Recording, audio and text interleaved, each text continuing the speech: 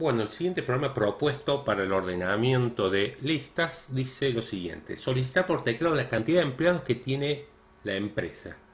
Crear y cargar una lista con todos los sueldos de dichos empleados. Si yo cargo 5, cargaré 5 sueldos de esos empleados. Si cargo 10, cargaré 10 sueldos. Imprimir la lista de sueldos ordenados de menor a mayor.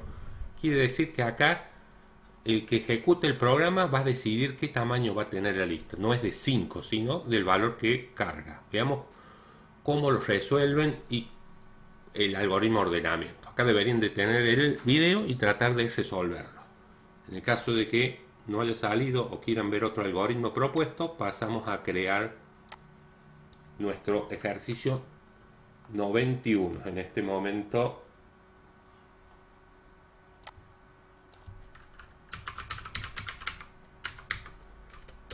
Bueno, vamos a definir el vector sueldos inicialmente vacío.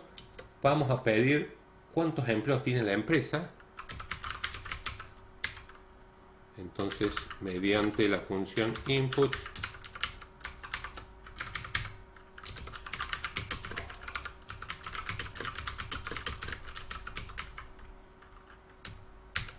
el operador cargará en la variable cantidad cuántos empleados tiene la empresa y procedemos a cargar todos los sueldos de los empleados. El range ya no es 5, sino es cantidad. Si ingresa un 5, si ingresa un 3, por ejemplo, se va a repetir x va a valer 0, 1 y 2. Como cargamos el sueldo igual un entero, llamando a inputs y mostrando el mensaje que ingrese el sueldo.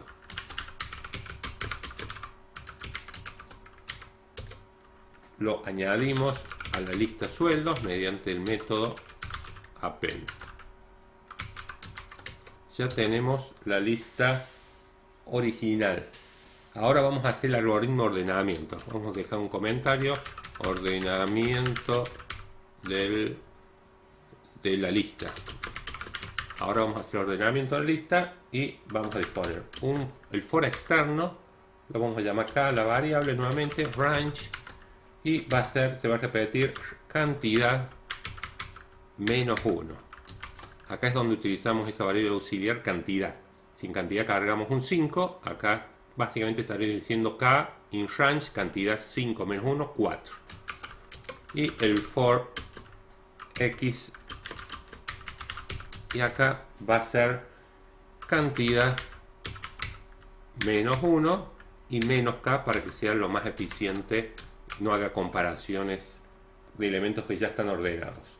Y acá es lo que ya hemos visto en los otros problemas si sueldos su índice x es mayor a sueldos su índice x más 1 procedemos a intercambiando en un auxiliar guardamos sueldos subíndice X, en sueldos subíndice X, guardo el que está más abajo, sueldos subíndice X más 1, y en sueldos subíndice X más 1 guardamos el auxiliar.